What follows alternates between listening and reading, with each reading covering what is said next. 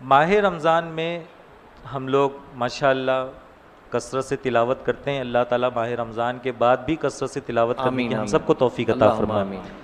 उसमें आयत सजदा आती है और फिर हम सजदा करते हैं। तो जब ये आयत सजदा आए तो उस वक्त सजदा करने का सही तरीका क्या है?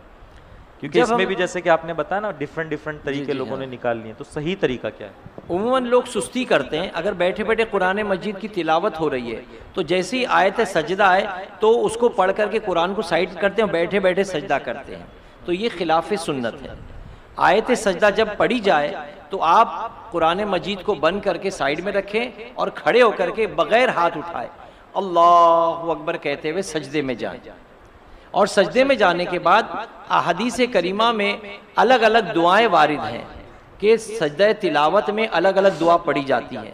अब अगर हमको अलग अलग दुआ नहीं आती तो कम से कम दिल की गहराई के साथ सुबहान रबील आला सुबहान रबील आला ये तीन मरतबा कम से कम पढ़ लें। उसके बाद अल्लाह अकबर कहते हुए खड़े हो जाएँ।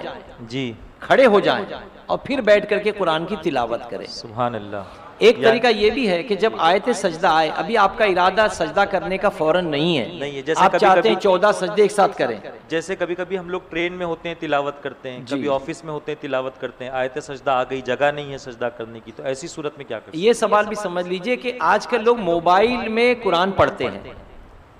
ठीक है आप ट्रेवलिंग में है बस में है ट्रेन में आप मोबाइल खोलकर अगर कुरान पढ़ते हैं तो आपको इजाज़त है। लेकिन मस्जिद में भी आकर आप अगर मोबाइल में कुरान पढ़ते हैं तो ये तो हिमाकत है। मस्जिद में जब कुरान मजीद रखे हुए हैं, उनको छोड़कर अगर आप मोबाइल में पढ़ने लग गए और आहिस्ता आहिस्ता हर आदमी ने कुरान में ही मोबाइल में कुरान पढ़ना शुरू कर दिया तो प्रेस वाले कुरान छापना बंद कर देंगे। प्रेस वाले कुरान छापना बंद कर देंगे। तो आइंदा 10-20 साल बाद तो कुरान ढूँढने से भी नहीं मिलेगा।